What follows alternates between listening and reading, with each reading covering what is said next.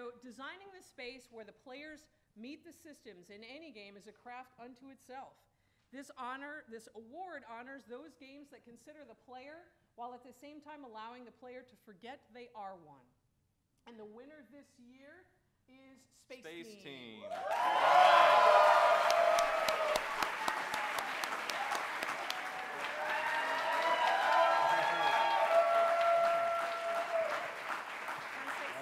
Congratulations. All right.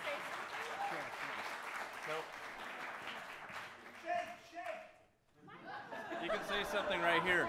Everyone will hear. Um, uh, thank you so much. I mean, I'm, uh, for all your support. It's amazing. I, I, I had no idea that, that my, my little practice project would, would explode in the way that it has. Um, and it's been, it's been almost a year now, and I've been traveling around showing it off, and, and this, is, this is just, it's incredible. Thank you so much.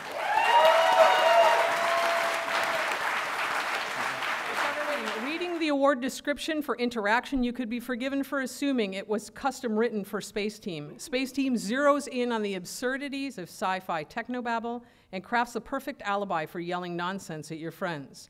Best yet, it smoothly escalates the experience, ramping up into an amazing spectacle of awkward hand gestures and panic gibberish. It's kind of like me right now. Yeah. That's awesome to take a creative more com- to take a device more commonly seen as alienating us from face-to-face interaction and to instead create an experience that draws in players and spectators alike is Spaceteam's particular genius, making it an obvious selection for this year's Interaction Honor. Yeah. All right. All right. All right.